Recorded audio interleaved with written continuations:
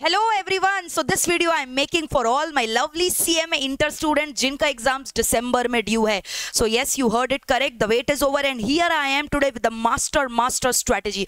This video is going to change your life, change your uh, strategies. ठीक है?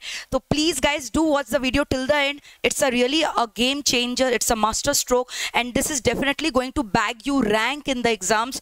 Definitely going to make you very very successful in your exams. So yes guys, this is your master strategy routine so as you can see as of now जब से भी आप ये video देख रहे होंगे, आपके पास कुल मिला के लगभग 90 टू 95 डेज़ का ड्यूरेशन बचा होगा आपके एग्ज़ाम्स के लिए. So here I am with the last three months master strategy I have actually बाइफोकेटेड ठीक है the number of days into two subject which means कि आपको एक दिन में एक सब्जेक्ट नहीं कम से कम दो सब्जेक्ट करना है यानी up to first twelve days you have to pick up any two paper ठीक है if you pick up for my choice this will be the routine you can also change your order of preference so one will be your theory paper one will be your practical paper so for the first 12 days i have decided you should start with the most easiest paper that you love the most and that is i know theory paper corporate law and with that you can start with a practical paper that is your financial accounting so these two paper you're going to continue till 12 days so that you can complete the major chunk of the syllabus of these two particular subject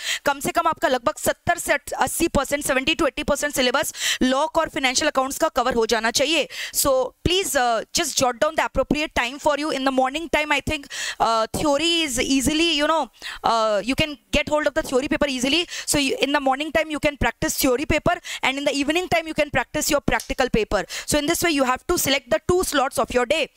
Now for corporate law here i have given you a detailed uh, discussion. Up to first six days you can do corporate law that is your company law. Then one day ethics two days industrial law one day indian contract act plus introduction to law one day NI Act partnership, one day SOGA LLP. And along with this theory, you can also do your practical chapters of your financial accounting. Now coming on to the next three days, after first 12 days, you have enough of law and financial accounts in your mind. Now time to practice. अब आपको practice करना है जम के ठीक है तो कम से कम तीन दिन लगातार आपको writing practice करना है ठीक है और कम से कम minimum three papers each for law and each for financial accounts which shall include your paper of past year exams, paper of your MTP. Please do writing practice and solve. Unless you write and solve it will be very much difficult for you to write in the examination in the main paper. So please ensure before you sit for your final exam at least you are done with three papers in writing practice. Then again this particular sequence will continue up to next 14 days. Now you can pick up company accounts and audit, where up to first six days audit, next six days company account, and along with that, you can practice costing. ठीक है? तो इस तरह से 12 दिन के अंदर आप देख रहे हो दो दो paper you are trying to complete major chunk of the syllabus and please follow the strategy if you are not going to take two subject it will create you know very monotonous environment for you and also please do not भूल से बिना do not mistakenly also practice in one day four paper then next alternate day another four paper. This will create a lot of confusion. You will yourself not realize ki how much chunk of the syllabus you have completed. So at least whatever paper you are picking whether two or three paper at a time at least continue those three subjects two subject for a major chunk of the days for 12 to 15 days. Okay? Then up to next 12 days again idt you have selected plus because idt is very vast. So, for dt i have just given you 20 percent to complete. And then you can select omsm operation management, strategic management.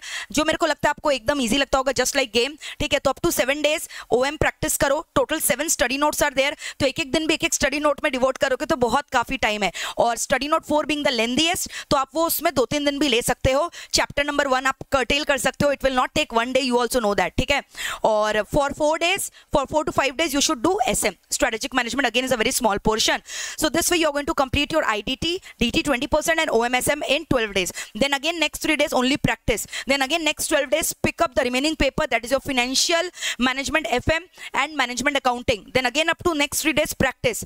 Then अभी DT का आपका ऊपर खाली 20 percent हुआ था। अब आपको लगातार फाइव डेज़ खाली डीटी डीटी प्रैक्टिस करना है ताकि आपका डीटी का ह्यूमंगा सिलेबस ये पाँच दिन के दौरान खत्म हो जाए। और लास्ट पाँच दिन मैंने आपको ग्रेस डेज़ दे दिया। इसमें अगर आपका ऊपर में से कोई भी रूटीन में कोई टॉपिक छूट गया you can cover those remaining topics if any now the second degree of revision will start now you are going to find it seventy days have elapse and now you are still having twenty to twenty five days in your hand ठीक है? Living those four to five days which you will be devoting only for the first paper of your exam तो अभी भी आप देखोगे कि आपके पास कुल मिलाकर 20 से 25 दिन बचे हुए हैं। अब ये 20 डेज़ में आपको क्या करना है? Second degree of revision start and in this 24 days you should be giving three three days for each single subject which makes it into three twenty four एक सिंगल सब्जेक्ट को आपको दो से तीन दिन देना है, ताकि आपको ये पता चल जाए कि एग्ज़ाम्स के पहले हमें एक दिन में कैसे पूरे सब्जेक्ट को रिवाइज करना है।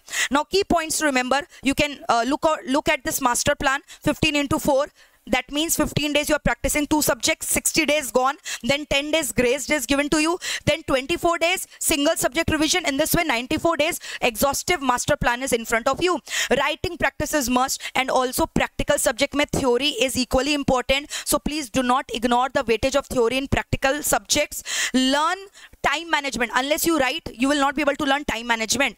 Don't dare out ठीक है to miss out the mission series MEPL में बहुत ही जल्द विद इन अ वीक हम लोग मिशन सीरीज़ स्टार्ट करने वाले हैं. So please guys do not miss out those mission revision series they will be acting as a game changer for all the eight papers you to do the mission series don't stress yourself stay hydrated drink lots of water avoid eating heavy and oily food which makes you drowsy which makes you sleepy and थोड़ा थोड़ा ना power break लेना ज़रूरी है.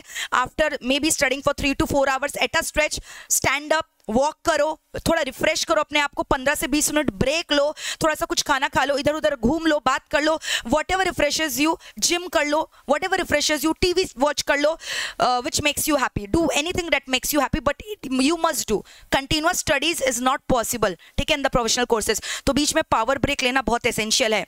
And we are with you Divya ma'am is with you I am with you ठीक है? So let's start studying by saying, yes we can do it. We are going to hit it and we are going to bag rank, ठीक है? And stop overthinking, guys. आपका जो है ना future में क्या होना है रिजल्ट्स क्या आना है, उस पर कंट्रोल नहीं है. But you have a control in your performance so do start doing it control your performance लग जाओ इस रूटीन में. इनफैक्ट मैं तो बोलूँगी, ये रूटीन लिख लो. इसका प्रिंट आउट निकाल लो और अपने नोटिस बोर्ड में या जहाँ पे भी आप पढ़ते हो उसको टंगा लो। And do follow this strategy ये स्ट्रैटेजी बहुत ही ज़्यादा इंपॉर्टेंट एसेंशियल है। And this is definitely going to make you pass no by chance if any single student is giving any any student is giving only one group तब in that case up to twelve days दो subject की जगह आप खाली एक ही subject practice करो। The rest remains the same ठीक है? So this is the master strategy guys please do follow it कैसा लगा ये स्ट्रेटेजी प्लीज़ कॉमेंट सेक्शन में ज़रूर लिखकर बताइएगा। Do subscribe our channel do not forget to press the bell icon for the further updates हमारा एक MEPL same exclusive channel भी है दोस्तों, उसको भी सब्सक्राइब कर दीजिएगा क्योंकि आने वाले मिशन सीरीज़ सब उसी चैनल में स्ट्रीम होंगे। So I hope this video is very very fruitful for you please do comment and tell me whether the video was fruitful और नॉट और कमेंट करके ज़रूर बोलिए yes we can do it bye thank you take care all the very best